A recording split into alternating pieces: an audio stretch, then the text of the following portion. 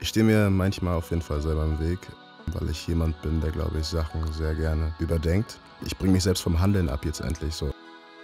Ja, ich bin eigentlich ein Mensch, der versucht immer gut gelaunt zu sein, auch wenn er merkt, okay, eigentlich ist heute ein Scheißtag. Aber so, ich kann echt richtig schlechte Laune haben, wenn Dinge nicht so funktionieren, wie ich es mir vorher vorgestellt habe. Wenn es wirklich ganz anders läuft.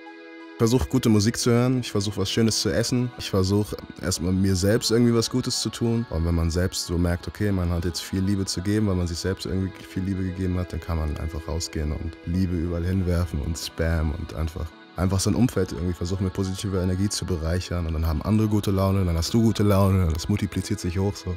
Das ist es im Prinzip. Dann habe ich wieder gute Laune.